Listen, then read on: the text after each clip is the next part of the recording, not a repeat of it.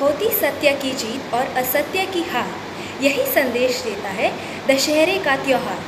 आप सभी को दशहरा की हार्दिक शुभकामनाएँ। स्वागत है आप सभी का। मैं भारती बुराड़ी पब्लिक स्कूल अवेंचर विद यूनिक की अध्यापिका। आज आप सभी को दशहरा के महत्व और उससे जुड़ी सभी कहानियों के बारे में बताऊँगी।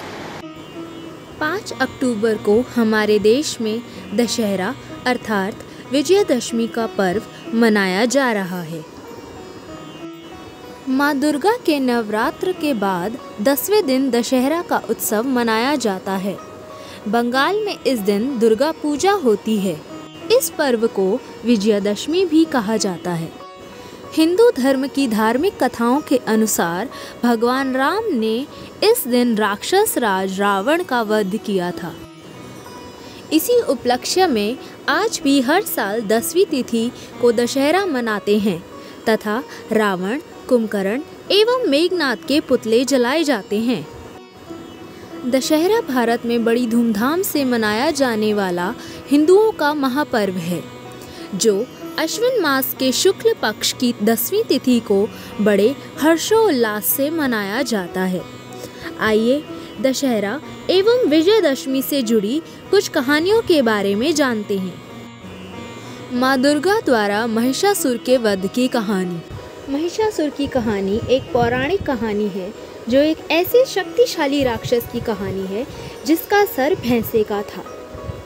और जिसने कठोर तपस्या कर ब्रह्मा जी से वरदान स्वरूप ये मांगा कि उसकी स्त्री के हाथों ही मृत्यु हो और अन्यथा कोई भी देव, दानव, मनुष्य उसे न मार सके।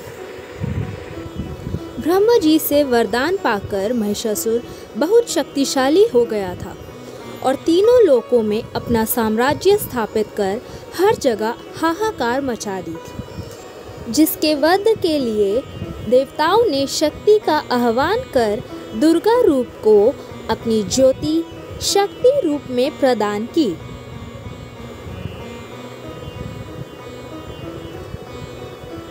माँ अस्त्रों शस्त्रों से सजी प्रकट हुई।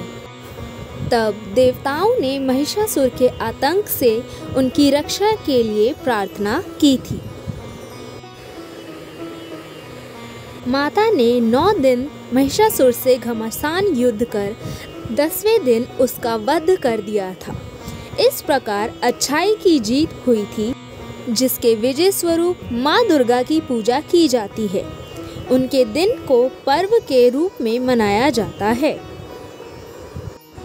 श्री राम जी द्वारा रावण वध की कहानी।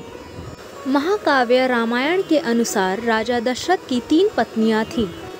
राजा दशरथ की सबसे बड़ी पत्नी रानी कौशल्या ने श्री राम को जन्म दिया, जो भगवान विष्णु के सातवें अवतार थे। किसी कारणवश राजा दशरथ को अपने सबसे बड़े पुत्र राम को चौदह वर्ष के वनवास पर भेजना पड़ा। कुछ ही दिनों बाद श्री राम अपने पिता की आज्ञा का पालन करते हुए लक्ष्मण और सीता के साथ वनवास को चले गए।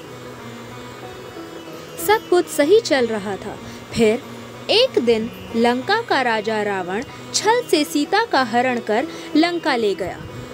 अपनी पत्नी सीता को बचाने के लिए श्री राम ने वानर सेना, हनुमान और लक्ष्मण सहित रावण और उसकी सेना से युद्ध किया।